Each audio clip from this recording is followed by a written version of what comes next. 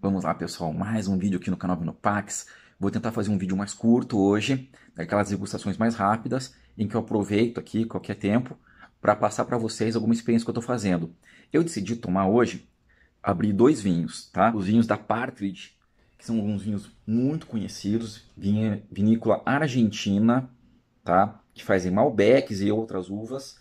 Esse é o Partridge Flying, que é um vinho um pouco mais barato, na casa de 37 reais ele é 2020, a safra. Eu estou aqui também com o parte de reserva Malbec. Tá? Esse é 2018. Então, reserva, a gente espera dele um pouquinho mais, vamos ver. A Partridge é uma vinícola muito interessante na Argentina. Eles vinificam em vários lugares, inclusive eles têm projeto é, no Chile vinificando o Sauvignon Blanc em Casablanca, no Chile. Ou seja, eles escolhem o lugar certo para cada uva e quando for fazer o Sauvignon Blanc deles, optaram por fazer até em outro país. E a, a, essa vinícola do Partridge, ela chama Las Perdices. Em português, Partridge, Perdices, perdiz. Então é, é, a ave, né? Tanto é que no rótulo, não sei se vocês vão conseguir ver porque é bem clarinho o rótulo, mas dá para ver, ó. É, um, é uma ave ali no rótulo, né? É uma perdiz. E no flying tem uma, uma, tem uma pena no rótulo. Essa é uma dica interessante que eu estou dando da questão do nome, porque uma das perguntas no desafio Wine que aparece é qual é a vinícola que faz o Partridge. Então é só traduzir em inglês para o espanhol, fica lá as tá? Se você não sabe o que é desafio Wine, eu não, eu vou deixar linkado aqui embaixo no comentário para poder ver o vídeo que explica o que é isso. É um jeito de você ganhar na prática uma garrafa de vinho aí mais ou menos por, por mês, tá? Na Wine, no aplicativo da Wine. Bom, vamos dar uma degustada então. Eu estou aqui com o perto de Flying comigo. A cor dele é aquela típica Malbec, que tem um toquezinho mais violáceo, né? Ele não é aquele rubi clássico, mas ele é brilhante, bonito. O aroma dele é uma coisa que já me impressionou de saída. Sabe por quê? Porque o Flying custa R$ reais e o Reserva custa R$ reais. Pelo menos esses foram os preços que eu paguei neles. E é barrica de verdade, gente, já no Flying. Por 37 reais aqui, isso aqui é aroma de barrica de verdade, não é chip. Se vocês lembrarem de outras degustações, eu comento que quando a gente toma aqueles reservados chilenos, eles, você sente o aroma de chip de carvalho, você sente que tem algo de errado numa, na madeira que eles colocam no vinho. Podia ser sem madeira, eu prefiro até que seja sem madeira for para colocar madeira ruim, né? Agora, esse aqui me impressionou porque ele custa 37 reais e isso aqui é a barrica. Como é que eles fazem? Porque não é esperado, porque o, o preço, a barrica é uma coisa cara, a barrica de carvalho. Mas e, e você não, não, não, planta carvalho em qualquer lugar do mundo. Essas barricas elas vêm dos Estados Unidos, vêm da Europa. Então como é que eles fazem? Eles passam barrica de primeiro e de segundo uso. E o aroma deles, vocês podem ver, eu fico, tô falando com vocês e tô sentindo aroma porque é muito gostoso. Então o que, que eles fazem? Eles usam de repente de segundo ou até mesmo de terceiro uso nada de errado. É preferível que o enólogo decida por usar barrica de segundo ou de terceiro uso, ao invés de ficar colocando chip de carvalho ou essência de carvalho, que é pior ainda, que são coisas que não vão trazer um aroma agradável para o vinho, vão deixar um defeitinho no vinho. Mas esse aqui está excelente, gente. Então o que, que tem aqui, né? Tem uma fruta, tá? Você percebe a fruta vermelha, mas aí vamos partir para a barrica, né? Essa barrica que está maravilhosa no, no aroma dele.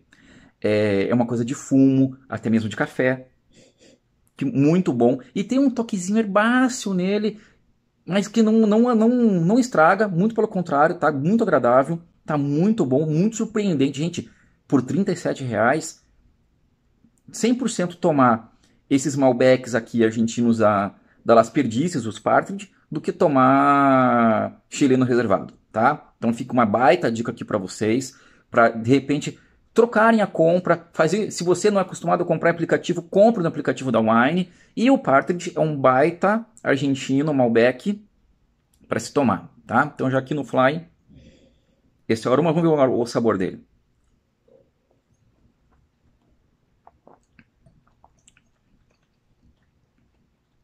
Tem uma boa acidez. Eles são vinhos de Luján de Cuyo, é uma região dentro de Mendoza que faz vinhos muito agradáveis a gente percebe, tem uma característica que eu defino como, que, que, que me marca muito em Lohan, que eu defino como um aroma de canela. Então a boca você sente esse sabor de canela.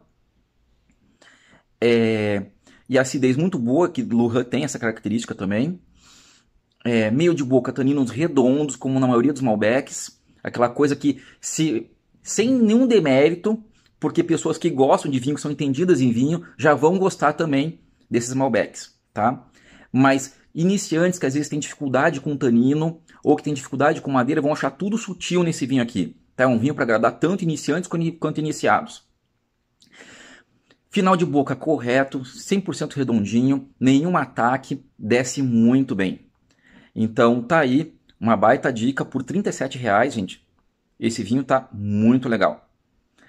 Vamos dar uma olhada então agora no Partridge Reserva. No Reserva. A cor. Um pouquinho mais densa, a gente nota. Aroma. A gente pega mais madeira, tá? E mais doçura também, a fruta tá mais madura. Será que é a é a safra, porque um 2018, outro 2020? É, eu acho que não. Eu acho que é que é tá mais para concentração, tá? Rendimento das videiras. Se você reduz o rendimento das videiras, ou seja, se produz menos vinho por hectare, você aumenta a concentração que cada plantinha vai colocar em cada bago da uva que ela faz, tá? Então, para mim, no aroma, para resumir, um pouquinho mais doce e um pouquinho mais concentrado de aromas. Em boca.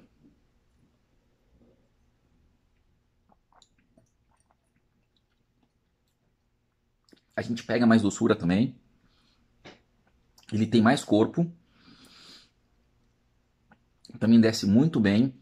Eu diria o seguinte, com, ele deve ter pego uma, uma, barricas de carvalho mais novas, ou é, passou mais tempo em barrica, alguma das outras coisas para fazer a reserva, você percebe realmente. E você percebe que a fruta está mais concentrada e está mais doce. É, reconheço que o reserva tem mais qualidade, tanto é que ele é mais caro, porque qualidade passa por aí. Barrica melhor, é, rendimento menor do vinhedo, que a, cada planta. Rendimento menor é uma coisa muito simples.